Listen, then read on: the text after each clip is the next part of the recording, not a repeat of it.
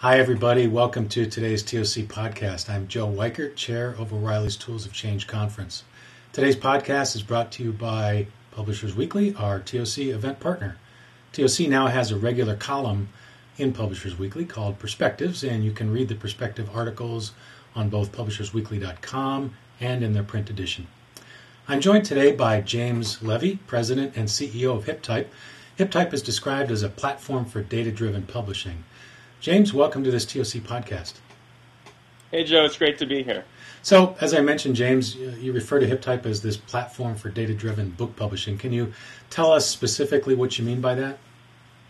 Sure. Um, so, regardless of what kind of uh, publishing you're using, if you're using a self publishing service or if you're going with a more traditional publisher, when you distribute your book through uh, the major retail channels, there's very little right now in the way of insights.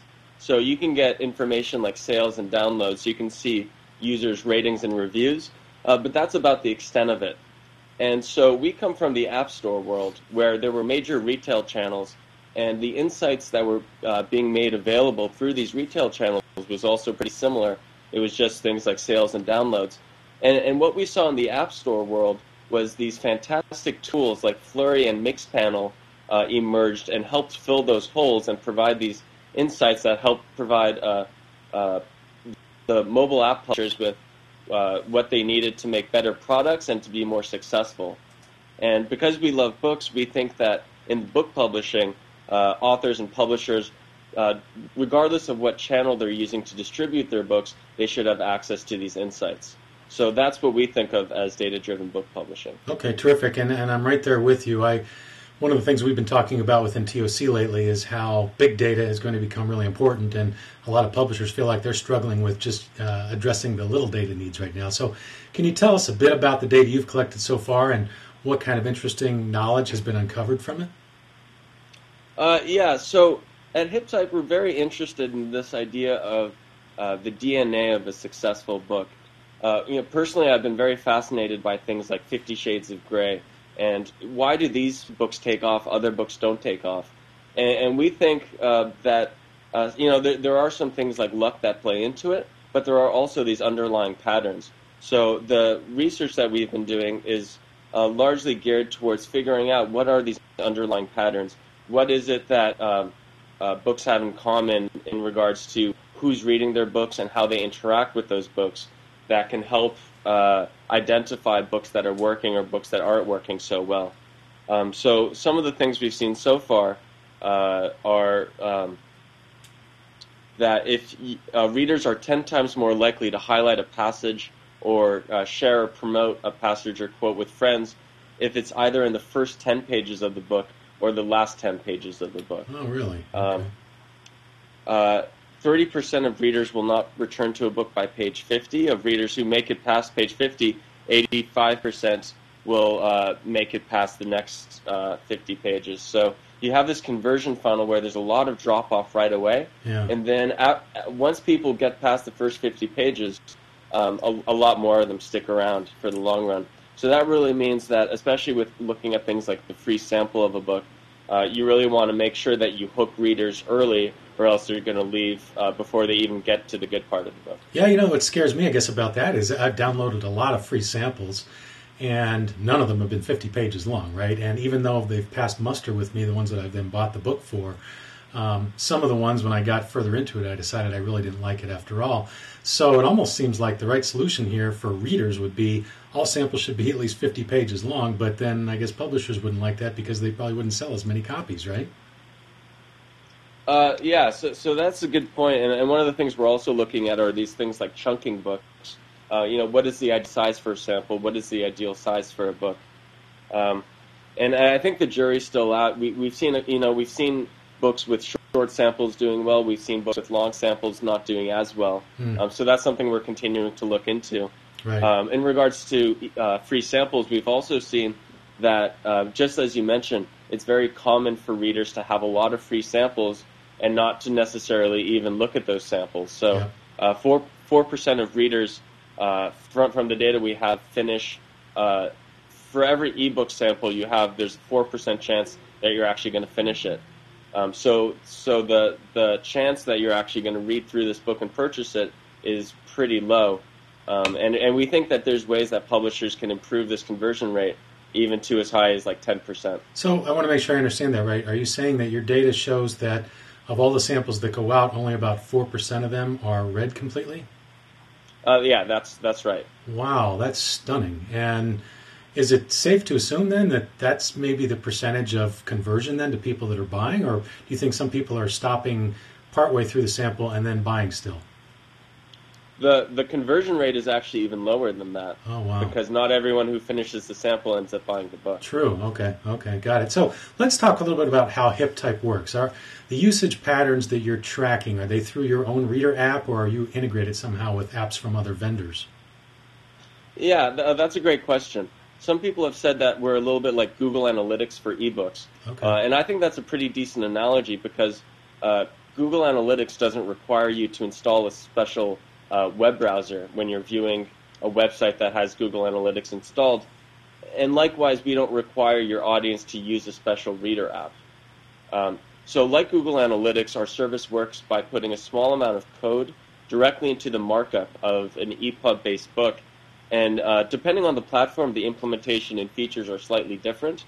Uh, but on each of these platforms, we have a variation of demographic information that we can capture when the book is read um, as well as uh, book performance data that helps authors and publishers understand how the book is being used, how readers are uh, interacting with the book, and what parts of the book are working and what parts of the book aren't working so well. So, so tell me something. Let's let's shift gears to the creepy factor, if you will.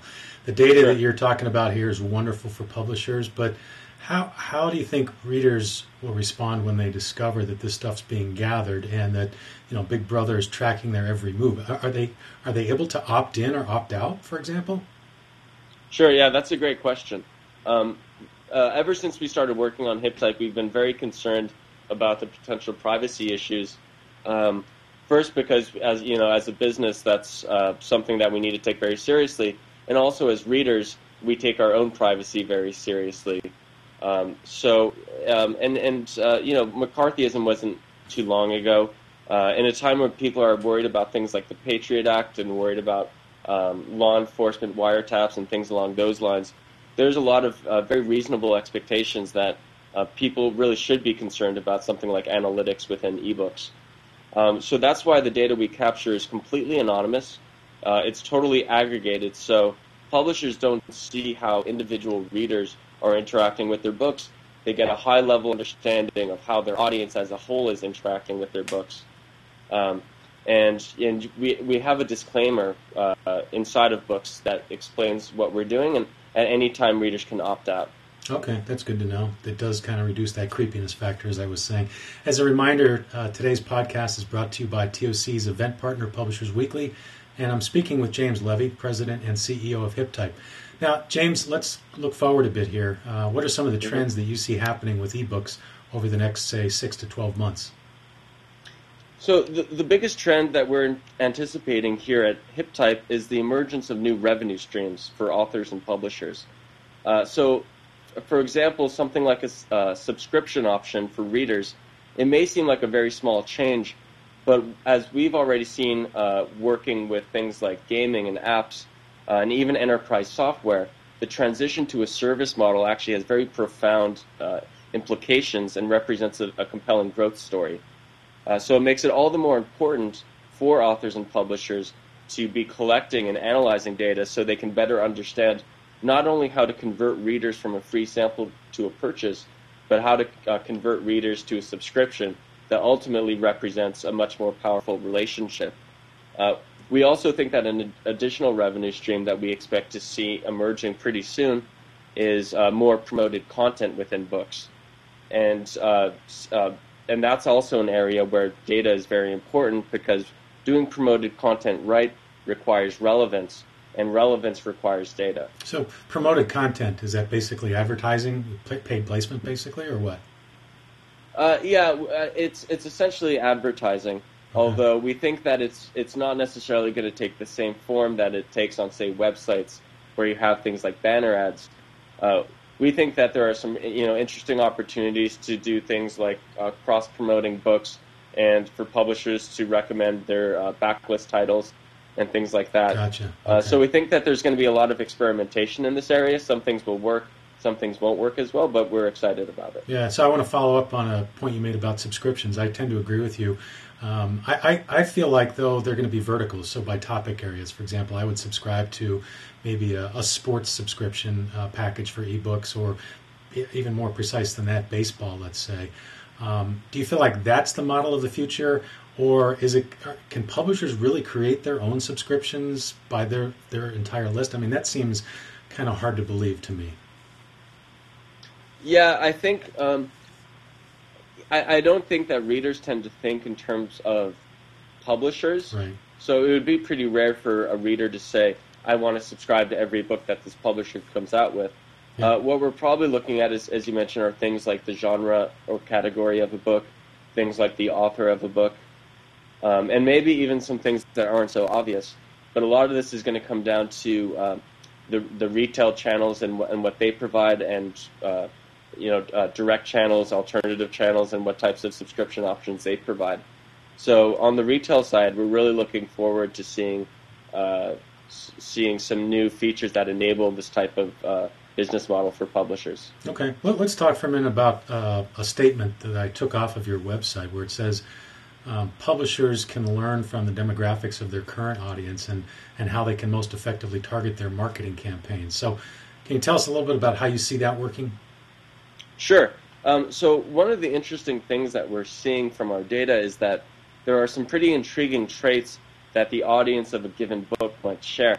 Uh, this this might be things like the age or location of readers, uh, but it also might be things like the type of music that the audience of a book tends to listen to, or what mobile apps they use, or things along those lines. And because our goal with HipType is to achieve the revenue mandate uh, of a book publisher, uh, we've, we're taking the data that we're collecting via our analytics plugin and other sources, and we now have data from over uh, 88,000 titles. So we're amassing uh, millions of data points, and we're using this to uh, uh, automatically manage and optimize Facebook ad campaigns Hmm. so that we can target uh, the specific types of, of people who are most likely not only to purchase the book, but to read through the book and share it with their own friends. Right. Okay. All right. Hey, I, I know your startup went through the the Y Combinator program. So, what was that experience like, and, and what advice do you have to uh, all the others out there that would love to go through that as well? Uh, yeah, so just to give a, a bit of background, Y Combinator is a three month incubator program. Uh, we're in the summer 2012 batch, and uh, I, I don't think I can disclose yet the number of startups, but it's, it's safe to say that it's the largest yet. So every uh, every batch, the, the, the, the size of the number of companies continues to grow. So the, the program is scaling out, and and this is actually gets to the real value of the program. Uh, you get a little bit of seed money. You get access to some incredible mentors who really help uh, give you some, you know, the type of advice that a startup at an early stage could really use. But it's turning out that the, the single most important benefit that you get as a Y Combinator company is access to this incredible alumni network Mm. where you have literally hundreds and hundreds of founders. And it's reached the point where uh, no matter what kind of startup you're doing, there are other alumni who have done startups in similar space. Um, so already with HipType, uh, uh, our some of our early customers and investors have come from this alumni network. So it's already pr- providing dividends for us. Uh, to other entrepreneurs who are interested in uh, applying to Y Combinator, I would recommend, if you haven't already, I would read through Paul Graham's essays. Right. Um, because even after you get into Y Combinator, those are still incredibly relevant, and there's a lot of wisdom contained in those. Uh, I would make sure to start reading the Hacker News website on a regular basis, and there's a lot of uh, interesting discussions that happen there every day. Um, and I would also remember the Y Combinator mantra, which is make something people want. And uh, w- when there's a hundred other things that uh, that you're dealing with, sometimes it's har it's easy to get away from that, and you always have to keep it in mind that you're you're building a startup because you need to, you're making something that doesn't exist in the world, and there are people out there who want it to exist. Right. Right. Makes a total uh, total sense. Hey, last thing I want to ask you, James, and this really has to do with what could potentially be done, I would say, with the data that you're collecting and, and feeding publishers is I, am intrigued by the thought of creating multiple versions of a book based on what features each customer likes best. So the one I get may be different from the one you get, for example, even though it's the same core title. So how how would that work? And are you concerned with customers complaining that they got one version and their friend got a different one?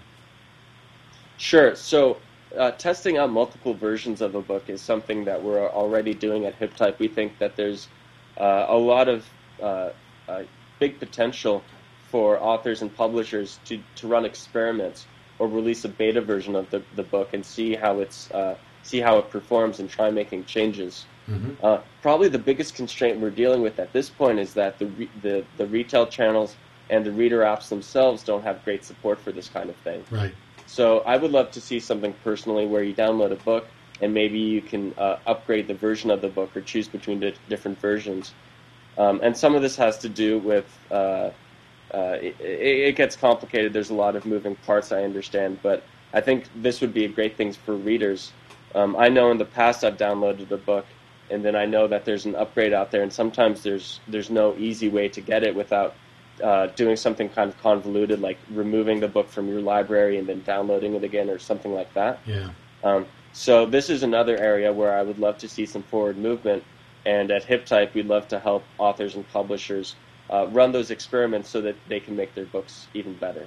Yeah, that's interesting, and it's actually one of the things we wrestle with at O'Reilly because when you buy an ebook directly from us, uh, part of that purchase gives you access to lifetime updates of that edition, which we can fulfill on O'Reilly.com, but you can't get that same thing through Amazon, let's say, or BNN. So you're absolutely right that the, the retailers, I think, are, are playing catch up here. James Levy, President and CEO of HipType, thanks so much for talking to us today on this TOC podcast. Yeah, it was great to talk to you, Jeff.